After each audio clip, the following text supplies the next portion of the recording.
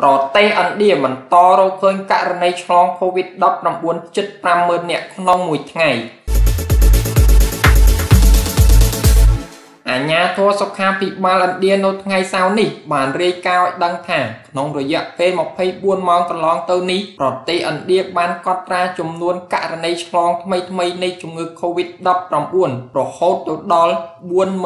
48916ករណីនិងអ្នកស្លាប់ថ្មីៗចំនួន757នាក់នេះបើតាមការចេញផ្សាយដោយទីភ្នាក់ងារព័ត៌មានចិនស៊ីនហួរនារុស្ស៊ីលថ្ងៃសៅរ៍ទី25ខែកក្កដាឆ្នាំ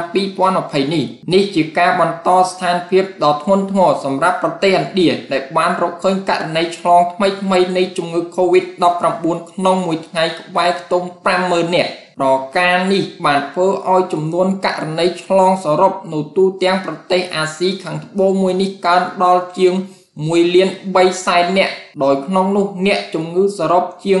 31ម៉ឺនអ្នកស្លាប់និងជាង8សែន4ម៉ឺនអ្នកទៀតបានជាសះស្បើយឡើងវិញនារយៈពេលចុងក្រោយនេះសន្ទុះនៃអត្រាអ្នកឆ្លងនិងស្លាប់ប្រចាំថ្ងៃដោយសារ COVID-19 នៅប្រទេសឥណ្ឌាគឺមានការកើនឡើងជាលំដាប់ ហើយគ្មានសញ្ញាថាអាចនឹងថមថយនៅឡើយគណៈប្រទេសដែលមានចំនួនប្រជាជនប្រមាណ